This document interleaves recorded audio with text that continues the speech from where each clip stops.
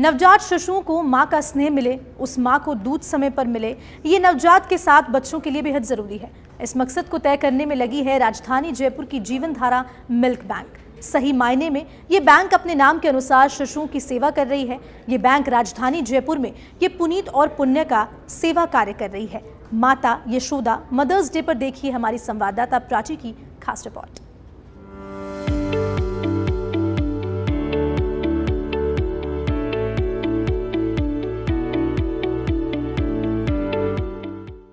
राजधानी जयपुर के महिला चिकित्सालय में मिल्क बैंक जीवन धारा पुनीत कार्य कर रहा है जीवन धारा की स्थापना का उद्देश्य देश भर में नवजात शिशु को माँ का प्यार और दुलार देना रहा है यहाँ कई माताएँ नवजात बच्चों के लिए यशोदा बनी हुई है, जो उनको मिल्क बैंक के ज़रिए समय पर दूध दे रही हैं। इससे शिशुओं का जीवन सवर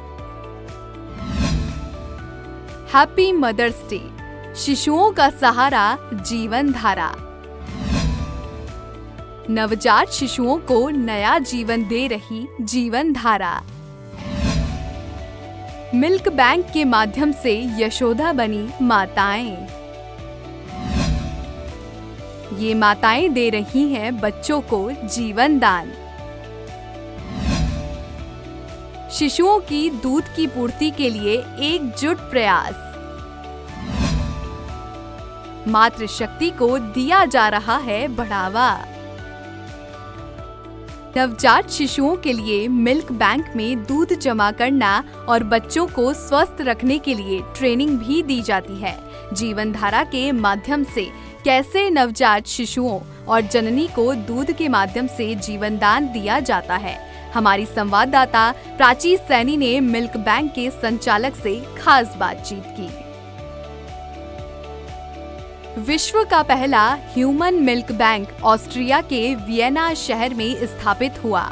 वहीं भारत में ये श्रेय मुंबई महानगर को मिला। इसके बाद तो ये सिलसिला देश के कई शहरों में शुरू हो गया। इसके बाद तो ब्रेस्ट मिल्क बैंक की बहुतायत ने दुनिया के सामने एक उत्तम उदाहरण पेश करना शुरू कर दिया और निश्चित तौर पर इस जागरूकता से नवजात शिशु की मृत्यु दर में भी कमी होने लगी है।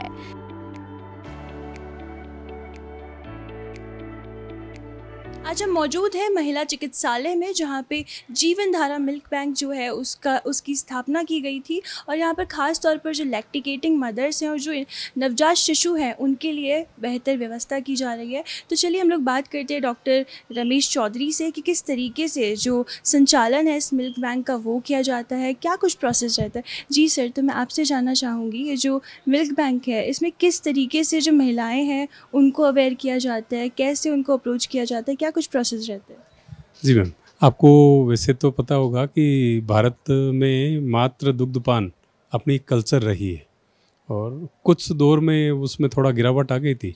तो राज्य सरकार ने सबसे पहले पहल करते हुए जगह जगह पे सी सेंटर्स आजकल मिल्क बैंक के टर्म को रिप्लेस करके कॉम्प्रिहेंसिव लैक्टेशन मैनेजमेंट यूनिट बना दिया।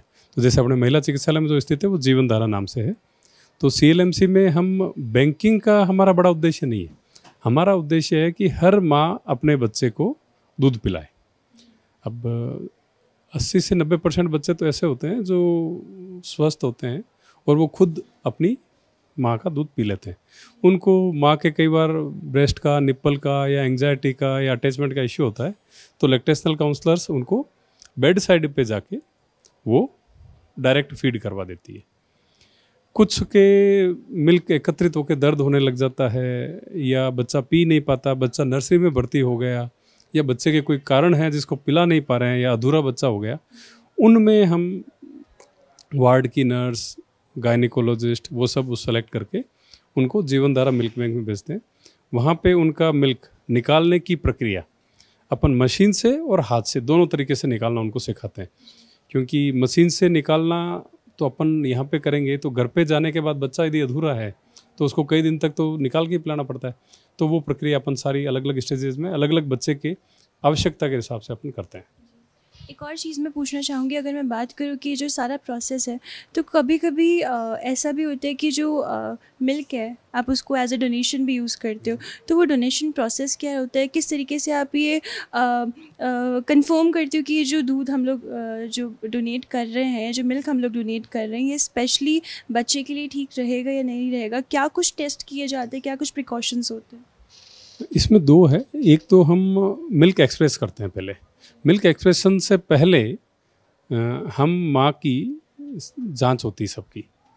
उसमें उसको एचआईवी है या नहीं है, हेपेटाइटिस बी है या नहीं है, हेपेटाइटिस सी है या नहीं है, ये सारे वायरल इन्फेक्शन की जाँच होती है। माँ लोकली भी स्वस्थ है या नहीं है। फिर वो जो निकल के स्टोर होता है, वो सिर्फ़ उसके बच्चे के लिए होता है। और उसकी बच्चे की आवश्यकता के बाद यदि ज़्यादा होता है, और मेडिकली वो फिट होती है, और वो विलिंग होती है तो ही उसको डोनेट करवाया जाता है। ऐसे नहीं किया जाता, एक बात। डोनेशन के बाद सब सैंपल की बैक्टीरियोलॉजिकल टेस्टिंग होती है। उसके बाद अपने पास ऑटोमेटेड पॉस्चराइजर है, उसके अंदर पॉस्चराइज होता है मिल्क और फिर उसकी पोस्ट पॉस्चराइजेशन फिर माइक्रोबायोलॉजिकल टेस्टिंग होती है। और जब तक टेस्टिंग होके नहीं आ जाए तब तक वो होल्ड पे रहता है सैंपल उसमें यदि कहीं भी गड़बड़ आ जाए तो वो मिल्क डिस्कार्ड होता है।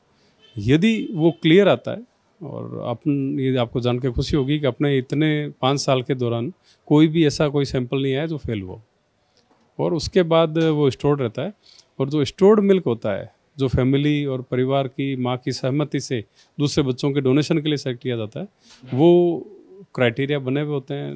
ह्यूमन मिल्क बैंकिंग एसोसिएशन का है कॉम्प्रेंसिव इलेक्ट्रिशन मैनेजमेंट की गवर्नमेंट ऑफ़ इंडिया गाइडलाइन है उसके अकॉर्डिंग सिर्फ़ लो बर्थ वेट बेबी हर बच्चे को वो नहीं देते। जो अधूरे बच्चे हैं, जो 1.5 किलो से नीचे उनको दिया जाता है। तो देखिए, हमने बात की डॉक्टर रमेश चौधरी से कि किस तरीके से जो मिल्क बैंक है, उसका संचालन किया जाता है, क्या कुछ प्रिकॉशंस रखे जाते हैं और ख़ास तौर पर जो ग्रामीण क्षेत्रों से महिलाएँ हैं, उनको किस तरीके से बताया जाता है, इस चीज़ की जानकारी दी जाती है और सभी प्रिकॉशंस के साथ जो ये संचालन है, वो किया जा रहा है। कैमरामैन योगेंद्र के साथ प्राची सैनी सच पे जयपुर।